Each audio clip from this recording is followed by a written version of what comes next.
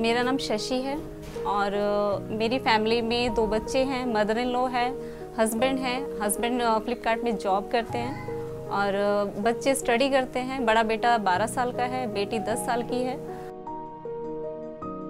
बचपन में मुझे स्टडी का और क्रिएटिविटी का बहुत ज़्यादा शौक था और लकली कि मेरे फादर भी टेलर थे तो एक ऐसा ही इंटरेस्ट अपने आप ही क्रिएट हो गया कि हाँ कुछ मुझे बनाना है।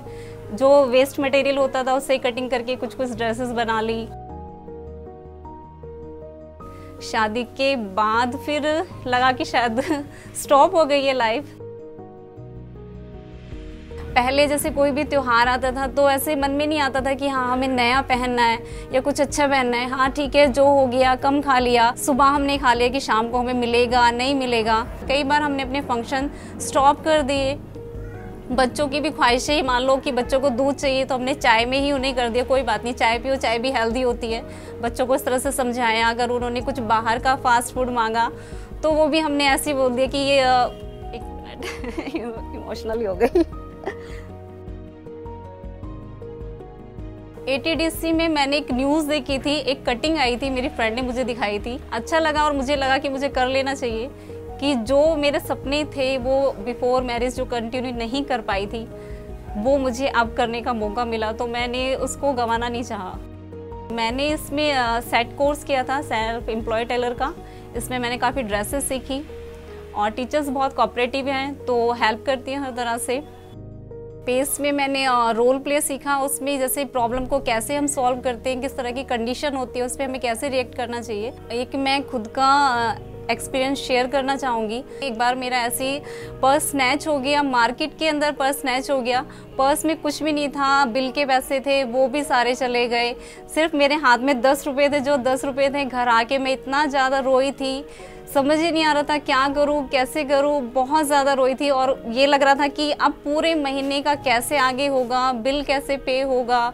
लेकिन पेस ट्रेनिंग से मैं इतनी मज़बूत हो चुकी हूँ, इतना कॉन्फिडेंट हो चुकी हूँ कि अगर ऐसी प्रॉब्लम दोबारा मेरे सामने आती है तो शायद मैं ऐसा रिएक्ट ना करूँ। रोने में अपना टाइम वेस्ट ना करूँ उसमें मुझे इतना सिक्योर बना दिया, मेरी फैमिली को इतना सिक्योर कर दिया है, जिससे मैं इस प्रॉब्लम को इजीली सॉल्व कर सकती हूँ। वहाँ पे टाइम ऑडिट सीखा मैंने सेविंग सीखा फाइनेंशियल लिटरेसी सीखा और उससे मुझे काफ़ी हेल्प मिली लाइफ में।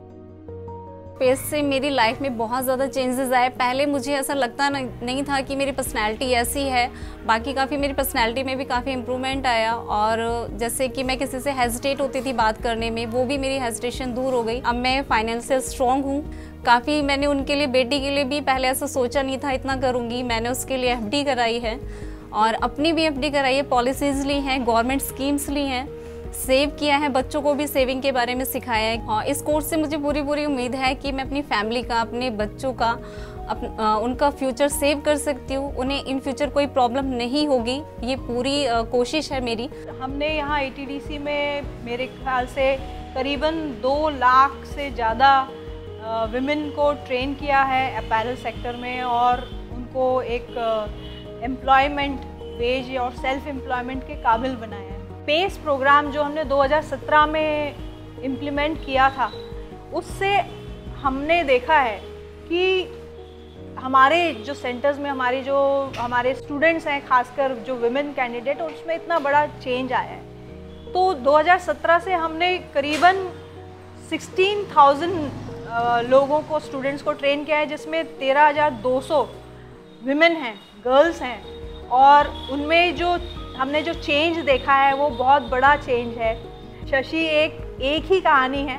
ऐसे हमारे पास हज़ारों लड़कियाँ हैं जो कि इस स्पेस ट्रेनिंग के थ्रू इतने उनमें काबिलियत आई है, इतना उन्होंने अपने आप में आत्मविश्वास पैदा हुआ है कि वो इस काबिल बन रही हैं कि वो अपने जो उनका साइकोलॉजिकल बैरियर है कि हम सिर्फ़ घर के लिए बने हैं, उसको तोड़ के आगे बढ़ी हैं।